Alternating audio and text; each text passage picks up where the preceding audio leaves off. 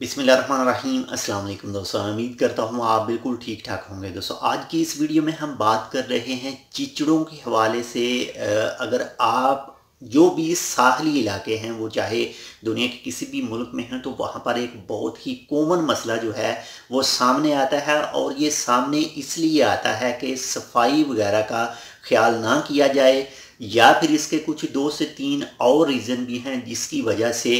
चिचड़ या फिर जिसको खटमल वगैरह, या फिर उसको हिंदी बांग्लादेशी ज़बान में कुछ दूसरे भी कहते हैं तो ये जिस रूम में पड़ जाएँ, जिस रूम में ये मौजूद हों, उस रूम में सोना, जो भी उस रूम के रहने वाले हैं, उनकी ज़िंदगी जो है रात का जो उनका सोना है, वो बहुत ही ख़राब हो जाता है, बिल्कुल ही नींद जो है, वो नहीं आती है। नींद आती है, लेकिन जैसे ही लाइट बंद करते हैं तो वो जो चिचड़ वगैरह हैं, जो खटमल हैं, वो बाहर निकल आते हैं और काटना शुरू कर देते हैं और उस काटने की वजह से मुख्तलिफ़ किस्म की जिसम के ऊपर बीमारियाँ भी सामने आती हैं। कुछ जो जल्द की बीमारियाँ हैं, वो सामने आ जाती हैं। कुछ खारिश वगैरह, अलातूल जो है, वो पड़ जाती है। तो इसका मेन रीज़न क्या है और इसको ख़त्म किया कैसे जा सकता है और इससे बचा कैसे जा सकता है?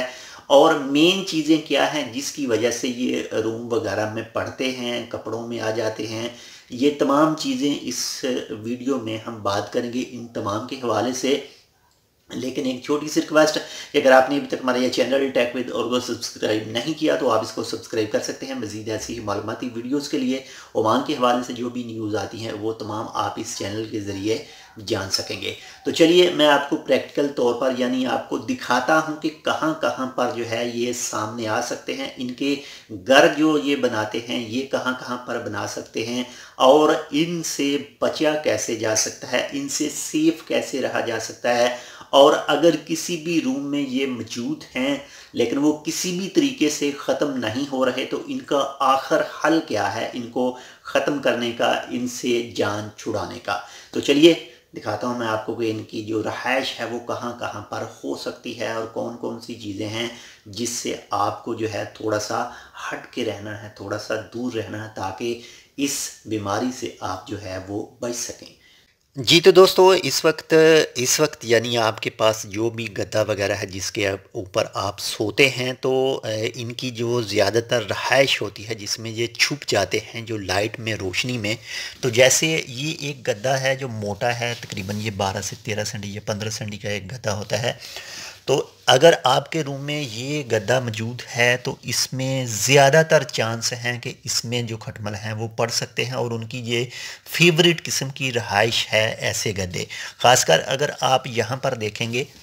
यहाँ पर, इस जगह पर तो आपको जो है, जिस रूम में भी ये बीमारी मौजूद होगी खटमल की तो उनके घर जो हैं, यहाँ पर मौजूद होंगे और इनके अंडे जो हैं, वो बहुत छोटे छोटे वाइट कलर के होते हैं, वो वो भी बहुत ज़्यादा आपको नज़र आएँगे। इसके साथ ही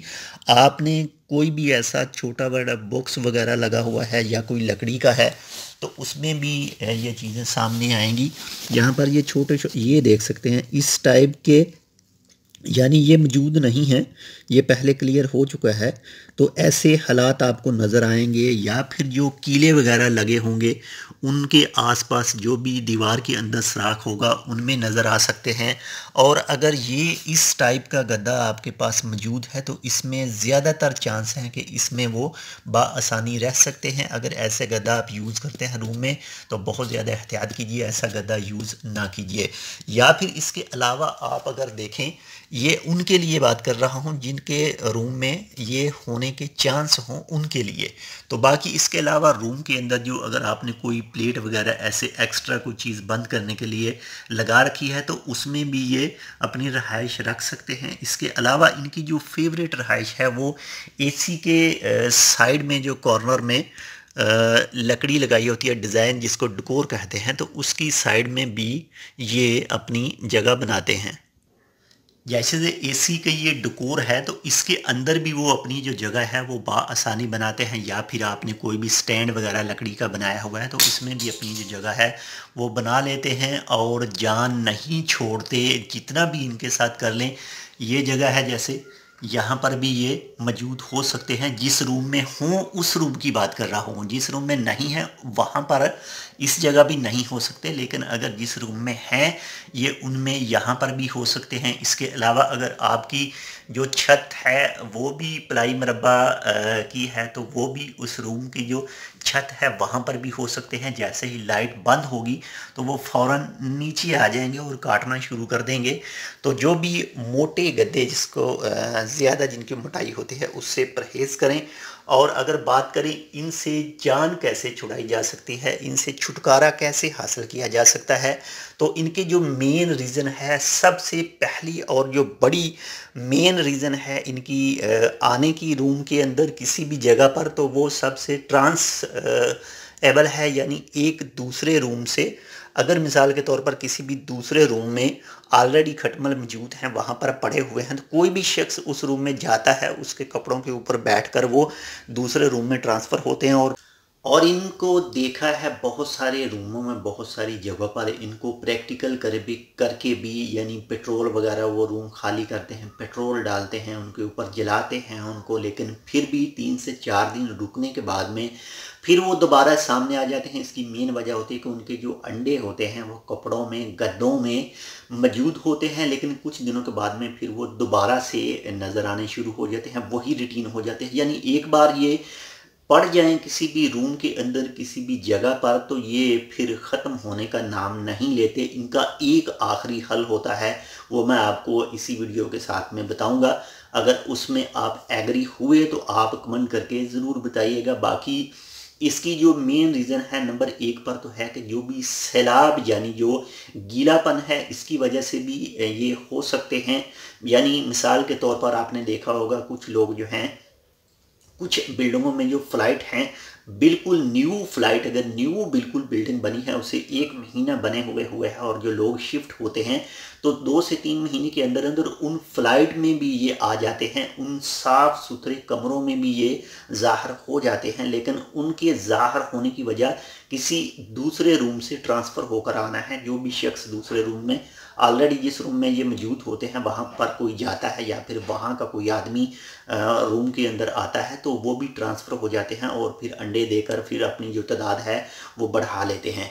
तो एक इसकी, ये जो मेन वजह है, ये है दूसरी कि सफ़ाई का ख्याल ना रखना, या फिर रूम के अंदर ही आपने देखा होगा, कुछ लोग जो एक रस्सी बाँध देते हैं रूम के अंदर ही और गीले कपड़े भी उसी के ऊपर ही रखते हैं और सूखे भी उसी के ऊपर ही रखते हैं तो वो नमी की वजह से भी इसमें जो है वो प्रॉब्लम आ सकती है। नमी की वजह से भी ये बन सकते हैं, पैदा हो सकते हैं सफ़ाई का ख्याल ना रखने से। जितनी भी कोशिश कर लें, ये ख़त्म नहीं होते और फिर जो भी रात को ये करते हैं, फिर आदमी जो हैं, वो रात को जो कुछ करते हैं, वो सिर्फ़ वही लोग बता सकते हैं, सिर्फ़ वही लोग महसूस कर सकते हैं, जिनके रूम में खटमल मौजूद हैं, या ऑलरेडी वो इस सूरत हाल से गुज़र चुके हैं, लेकिन अब उनके रूम में जो है वो मौजूद नहीं है। तो इनसे सबसे बेस्ट हल इनसे बचने का यही है कि जिस रूम में भी आपको शक हो कि इस रूम के अंदर मौजूद हैं, यानी किसी भी आप, आपके कोई दोस्त का रूम है या फिर किसी भी दूसरे शख्स का रूम है, आपको शक हो कि यहाँ पर ये खटमल हो सकते हैं तो बेहतर यही है कि आप उस रूम में ही जाकर ना बैठें। अगर उस रूम के आदमी के साथ आपकी कोई बातचीत है, आपने कोई मशवरा वगैरह करना है, उनके साथ उसको बाहर किसी दूसरी जगह पर बुलाएँ और ख़ुद भी वहाँ पर ही बैठकर बात करें, दूर रहकर ही बात करें। अगर आपस में कपड़े भी अटैच हो गए तो तब भी चांस है कि एक ना एक ट्रांसफ़र हो के आपके कपड़ों में आ सकता है और फिर आपके रूम में आ सकता है और फिर आपकी जो रातों की नींद है, वो बर्बाद कर सकता है, रातों की नींद ख़राब कर सकता है। तो इसका लास्ट और जो सबसे बेस्ट हल है नंबर एक पर तो किसी भी वो रूम में ना जाएँ जिसमें ऑलरेडी पहले से कटमल हो। नंबर दो, सफ़ाई और सुथराई का बिल्कुल मुकम्मल ख्याल रखें ताकि आपके रूम में ये ना पड़ सकें। ये ज़रूरी नहीं कि जो पुराने रूम हैं उनमें ही ये आ सकते हैं या फिर जो नए रूम हैं, उसमें नहीं आ सकते। ये ऑलरेडी चीज़ें देखी जा चुकी हैं, मुशाहिदा हो चुका है इनके ऊपर कि जो पुराने रूम हैं, उनमें भी होते हैं, लेकिन कुछ पुराने रूम हैं जिनमें नहीं होते, लेकिन कुछ नए रूम हैं जिनमें ये आ जाते हैं, लेकिन जो नए रूम हैं, उनमें नहीं भी होते। लेकिन ये हो भी सकते हैं, नहीं भी होते। लेकिन इनसे छुटकारा हासिल करने का सबसे जो बेस्ट हल है, वो यही है कि उस रूम के अंदर जिसमें ये पड़े हों, खटमल खटमल मौजूद हों, जिसमें उस रूम की जितनी भी चीज़ें हैं, जो भी चीज़ें हैं, उनको रूम से निकालें और बाहर किसी जगह पर रख दें या फिर आप खुद वो पूरा रूम छोड़ें, अपने पूरे कपड़े, आपके जितने भी कपड़े हैं, उनको या तो अच्छी तरह से वाश करके, वाश करने के बाद में आप किसी दूसरे रूम में शिफ्ट हो जाएँ और उस रूम को चार से पाँच दिन के लिए, सात दिन के लिए अकेला छोड़ दें, बिल्कुल खाली छोड़ दें तो तब इनसे छुटकारा हासिल किया जा सकता है। अगर आप ऐसा नहीं करेंगे और सिर्फ़ इनको वीकली तौर पर या फिर मंथली तौर पर सिर्फ़ अपने रूम की चीज़ों को धुलाई करके सुखा कर और फिर दोबारा आप